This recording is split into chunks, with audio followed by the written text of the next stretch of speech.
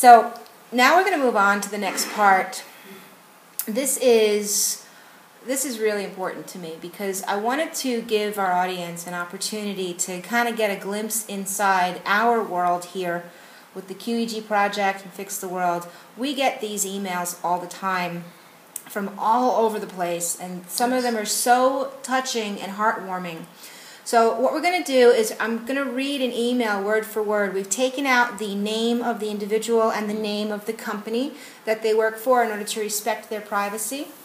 But this person was looking for a mini QEG solution to some problems. And after we read this letter, we're going to go through some videos because we've got a few ideas that Tivon would like to discuss for other types of um, devices that can help people in developing countries who are in the worst living conditions. These are simple, affordable solutions that can be implemented if we can just work together and get the parts together and make this happen. Yes. so this email came in uh, came into us recently. Uh, to whom it may concern, I am the president of a global major electronics company.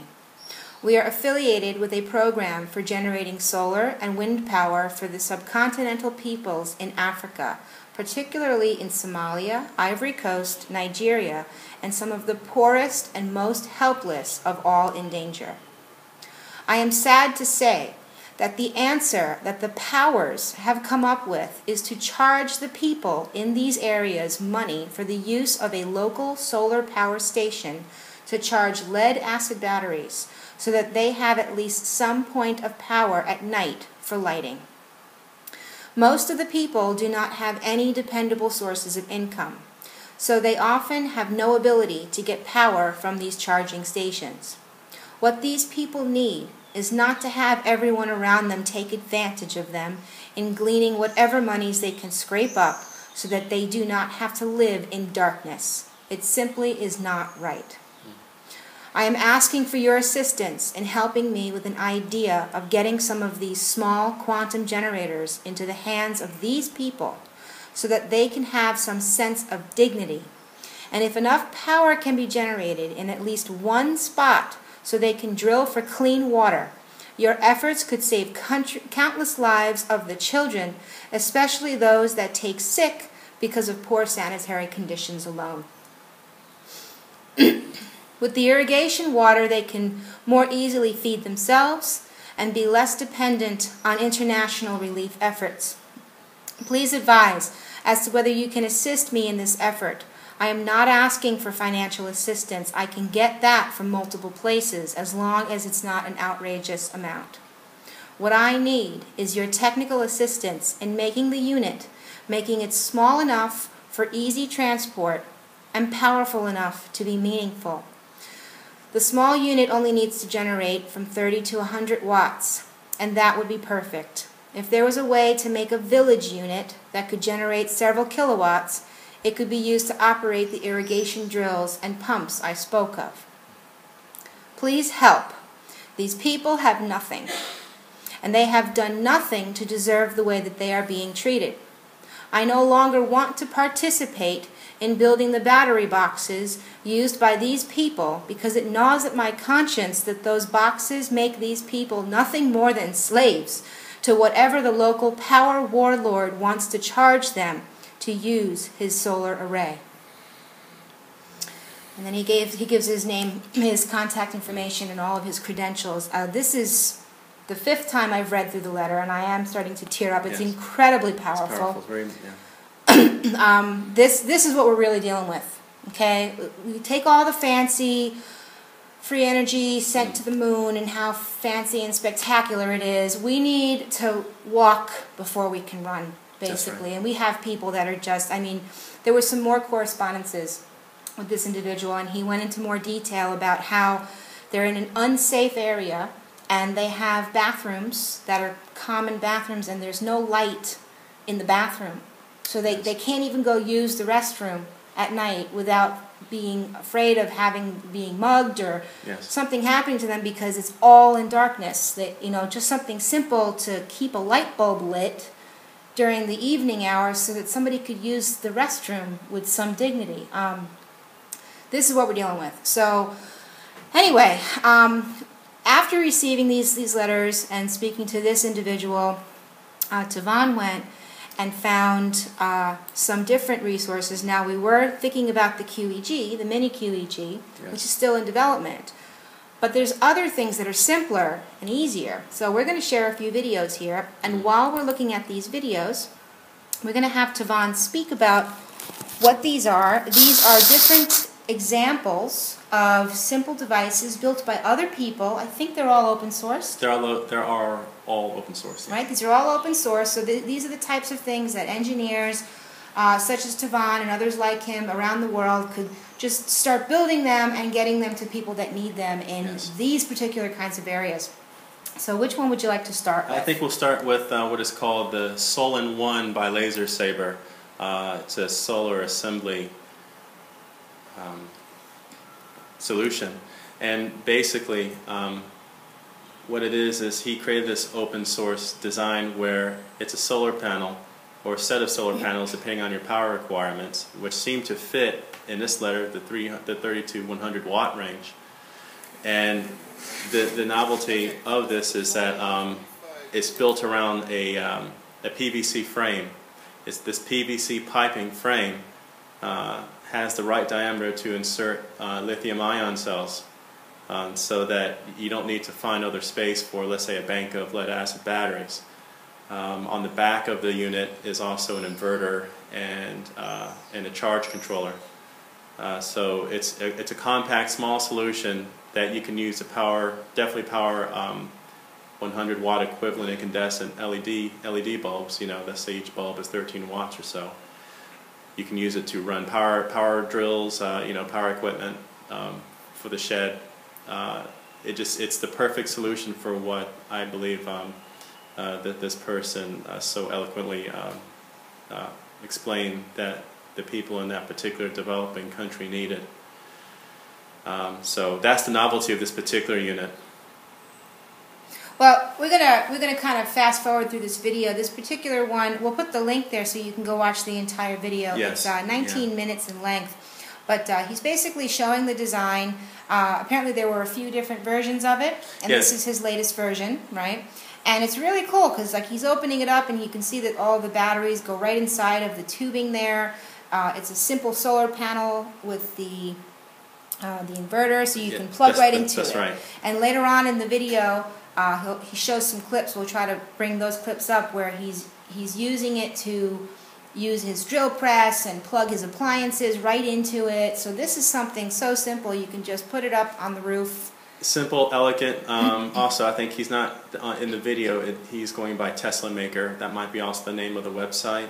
Mm-hmm. Um, and also, you can I, I can imagine taking these units and attaching them in parallel for more power output.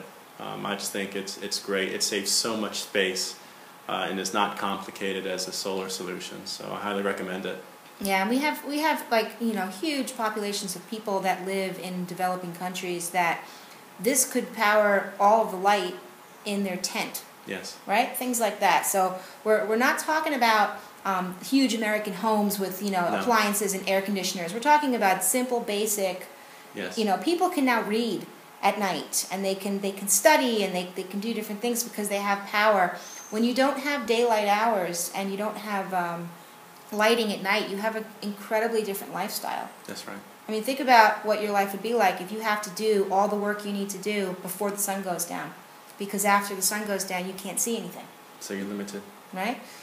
So this this is a great video. Now let's let's move on to uh, to another design that is an example. Which one should we go to now? Um, yes. Let's go to no Yeah. the, that that one. Yes. Okay. So um, this this is this is more of a um, a solution that's work in progress, but it's been replicated recently. Uh, so the inventor's name is Gerard Morin, and um, he designed a, a unit that is basically a small DC motor that is ran by some power drill batteries. Um, and this DC motor uh, turns a, uh, a magnet, and that magnet's turning inside a washing machine pump alternator. Because of the, the design of the alternator has these coils, and you can light up loads that require um, different voltage, frequency, and, uh, and current requirements. So it's like he, he, he's made like a mechanical modulator. So if you're, you know, you can have this DC drill uh, motor, for example, running at 36 volts at a couple of amps, running an incandescent bulb that's rated for 230 volts, you know, uh, at you know maybe a fraction of an amp, um, and that's made possible with this particular technology. So it kind of functions as a as a type of uh, not only modulator or transforms electricity in a unique way. Uh, almost has some genset type of properties as well. Um, so the thing about this technology is that it looks to be highly efficient. Also, there are a lot of people replicating it right now. So if you were to go on YouTube and look up Gerard Morin um, and look at his technology, you'll find a whole bunch of people um, with the follow-on links from his video replicating the same technology. So that's another device that's that's fairly small. It's a bank of batteries, maybe a grid type inverter to convert, and and the little DC motor and, and a wash machine alternator, pump alternator. Now, I want to ask you a question about a device like this one. You said that there's a lot of people replicating it right now. Yes. but we have to. I'm just wondering. You are an engineer, and you mm-hmm. could replicate this. Yes. How many other engineers like you are actually out there right now that could replicate this? Is this particular information taught in your basic engineering training, or is this kind of like that hidden stuff that you have to dig through all of the scams and all the stuff you find mm. on the mm. internet? I mean, is this the stuff that's difficult to learn? It's not difficult to learn. It's just it's as application. This particular application, I haven't haven't seen it done this way before. Right. So, I mean, to have more engineers with the skills to put this together, that's really what I'm going for here. Is who, how many people actually have the skill set to build something like this to make this difference in people's lives? To be honest with you, I don't think in, in this case, I don't think the engineering having an engineering background is required. Mm-hmm. I think what's more important is that you're you're a hobbyist and you're used to just getting dirty and with electronics and some a little bit of mechanical thing. I mean, these are small motors we're talking about, and um, and like in his case, if you're willing to just you know do a bit of soldering and and, and just play um, or hack, right? uh, anyone who who could, who understands basic electrical safety, I, I, believe can replicate this because really electronics here isn't involved. It's it's just an electrical unit. So um, I highly encourage anyone who, who, who, likes to dabble in this stuff to to to uh, replicate. And there are quite a few replications on YouTube right now. So it's a good time to get interested in this. And I also want to say, if you know somebody who's dabbling in hacking, they're learning skill sets that are not taught in schools. So please support them. Yes, please do. Please support them. It's, it's not just an expensive hobby. I mean, well, this which a lot of people think, oh, it's a very expensive this hobby. This will probably end up, end up being a, um, a skill in, in the very near in the near future. Um, yeah, because people those, trying to redevelop their re- reconstruct their. Uh, their society, what have you. Well, those that those that I think make the most change. I mean, we're looking for mm-hmm. being effective. We're not looking yes. about just talking about something and you know coming up with theories of how amazing this new technology could be. We're talking about people that are actually physically building. Yes. And when you perform that action and you have that skill set, you perform that action, you are the one that is making the most change. You're the most effective, which is probably why we are the most targeted uh, when it comes to yes. people trying to get us to stop doing what we're doing because they know it's the people that actually do stuff that are the biggest threat to shifting the power structures. So, so okay, let's let's move on to a, a third device, a third video here. Wind solution? Yes, so what we have here is, a, this is just a general design for um, a micro turbine. Again, uh, micro turbines have been around for, oh, for a long time.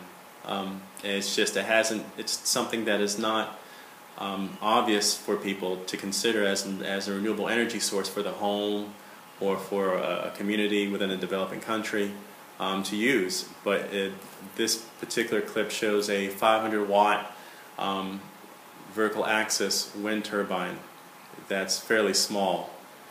And uh, for its size, it spins at very low wind speed. And for that wind speed, you can get upwards of a couple of hundred watts. Um, it's made generally to, to spin at low speeds, so higher speeds obviously can produce more power. Um, it's also made to be small in a small form, so if you had an array of them, you can use that to obviously power you know, power an entire entire village. Um, Excellent. Again, this is a simple solution. Um, this is the sort of thing in combination, let's say, with the Solon One solution, would be a complete solution for, let's say, a tribe or, you know, again, small village. Um, definitely enough to run LED lighting uh, during the night. These are simple solutions that just need just just require the proper application that isn't anything too fancy or, or you know um, out there. You know, the, these are just things that require application.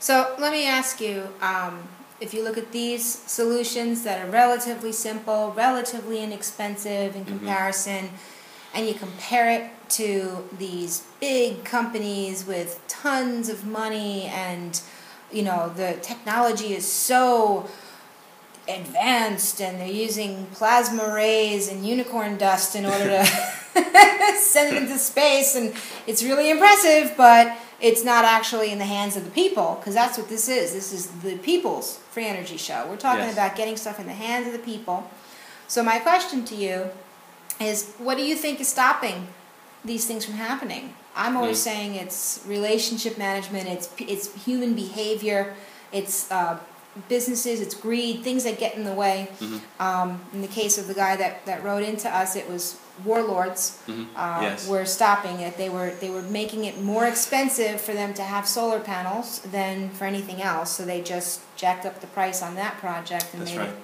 unaccessible uh, do you have any thoughts what's I well, I think that letter um, it came from someone who was familiar with um, providing the infrastructure for these large projects that were meant that were meant meant to help with the um, developing country, you know, in this case, and it it never made it to the people who needed it, but made it to the local warlord instead, um, and and so that that utility would never devolved all the way down to the grassroots. Uh, so corruption is a very big hurdle.